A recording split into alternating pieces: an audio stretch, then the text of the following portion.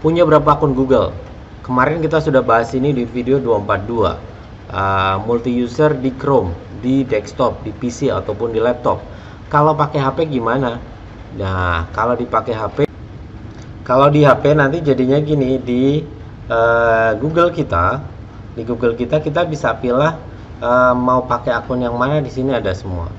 Atau saya mau cek bagaimana di Gmail saya saya juga uh, bisa pindah akun. Di sini ada akun saya ada akun saya yang lain. Kalau di Google Drive-nya gimana? Sama. Di Google Drive juga kita bisa switch akun. Akun satu ke akun yang lain. Itu kita bisa pindah satu ke akun yang lainnya. Itu ya. Ini adalah video 243 jadi bagi kawan-kawan yang pertama kali mampir di channel ini ini adalah channel pendidikan. Saya cobakan satu hari satu video tutorial. Remeh bagi kita bisa luar biasa bagi sama jadi kita mulai aja video ke 243 Uh, multi selamat pagi, akun selamat atau siang, multi selamat user sore, selamat malam. Assalamualaikum warahmatullahi wabarakatuh. kita. Salam sejahtera untuk kita semuanya. Om Swastiastu, Namo Buddhaya, Shalom, salam kebajikan. Masih ketemu dengan Mufid di sini yang masih belajar untuk berbagi. Uh, berbagi apa? Berbagi tentang tutorial untuk pendidikan, tips dan triksnya. Masih dengan tema yang sama juga, remeh bagi kita bisa jadi luar biasa untuk sesama itu yang masih saya pegang. Semoga apa yang saya bagikan menjadi kebermanfaatan untuk sesama. Dan bismillah mohon doanya. Satu hari satu video tutorial. Yuk. Punya berapa akun Google? Nah ini yang kemarin ya video 242 multi akun di Chrome satu browser banyak akun. Tapi pakai uh, browser ini sudah saya bahas di video ke-242. Kalau pakai HP gimana? Jadi kita akan coba bahas bagaimana caranya kita di multi user atau multi akun tapi pakai handphone. Jadi di handphone kita bisa banyak uh, akun Google pada satu perangkat handphone kita. Begini caranya. Kita akan bahas di sesi kali ini ya. Pelan-pelan akan saya coba uh, simulasikan. Ikuti kalau suka jempol ke atas dulu juga boleh klik jempol ke atas sama yang belum subscribe subscribe dulu ya. Baik yang muncul di layar di uh, samping saya ini adalah handphone saya. Ini ini adalah handphone saya. Akan saya coba masukkan satu akun lagi baru di handphone saya. Misalkan saya mau menambahkan satu akun uh, belajar.id akunnya punyanya Kemdikbud saya coba masukkan di handphone saya. Jadi di handphone saya ada dua akun kenapa saya masukkan ini? Karena saya pengennya di akun ini eh di handphone ini saya juga bisa terkoneksi dengan siswa ataupun saya bisa uh, memanfaatkan fasilitas Google Drive yang unlimited. Kita mulai. Caranya adalah di bagian setelan di bagian setelan atau di bagian setting handphone ini di bagian ini ya di bagian setting handphone ini di bagian setting atau setelan saya klik setelah itu scroll ke bawah. Scroll ke bawah sampai dengan ada akun Google. Sampai di sini nih akun Google. Di akun Google ini kita baru satu akun. Ada satu akun saya di sini. Cara menambahkannya adalah tinggal di bagian ini ya. Di bagian ini ini e, di bagian email kita itu ada satu panah kecil ke bawah. Diklik aja. Setelah itu muncullah satu akun kita untuk menambahkannya tinggal di sini ada tambahkan akun lain diklik.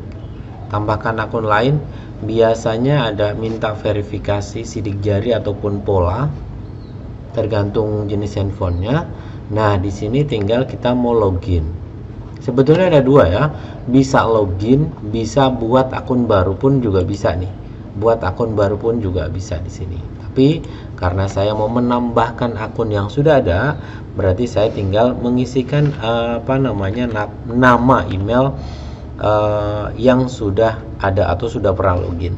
Saya akan mencoba login akun email yang dari Kemdikbud ya akun belajar.id nah kenapa akun itu yang saya tambahkan? Karena di akun itu kan kita menambahkan unlimited mendapatkan unlimited storage di uh, Google Drive-nya. Terus di akun itu juga kita e, bisa terkoneksi dengan anak-anak lewat Google Classroom dan sebagainya.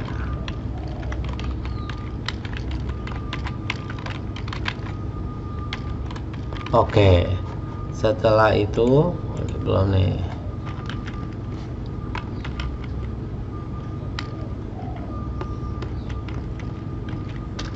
Oke, setelah udah tinggal ke next atau berikutnya tinggal setelah itu tinggal isikan password atau sandinya setelah itu next lagi atau berikutnya.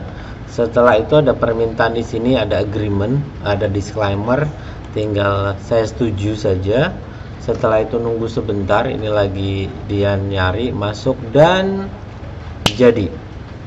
Wala maka kita sudah masuk ke akunnya saya Masuran Mufid yang uh, akun untuk apa namanya guru belajar. Jadi di sini ada dua akun nih.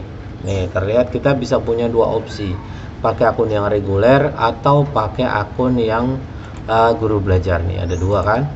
Nah kita bisa masuk ke sini ke akun reguler atau bisa kita pindahkan ke akun yang guru belajar. Kita coba cek untuk uh, yang lainnya. Kita coba masuk ke bagian foldernya Google di dalam foldernya Google kita bisa melihat uh, aplikasi yang ada. Misalkan saya masuk ke Gmail.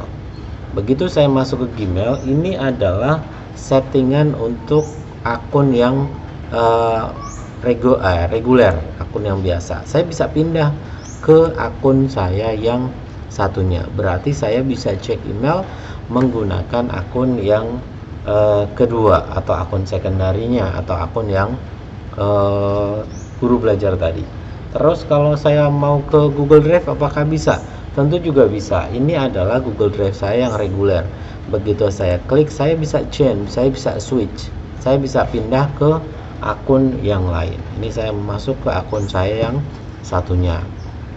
Di sini saya bisa berpindah. Terlihat ya, logo fotonya juga sudah berbeda. Ini yang uh, guru belajar, ini yang akun reguler. Jadi saya bisa pindah ke uh, beberapa uh, bukan ke beberapa ya.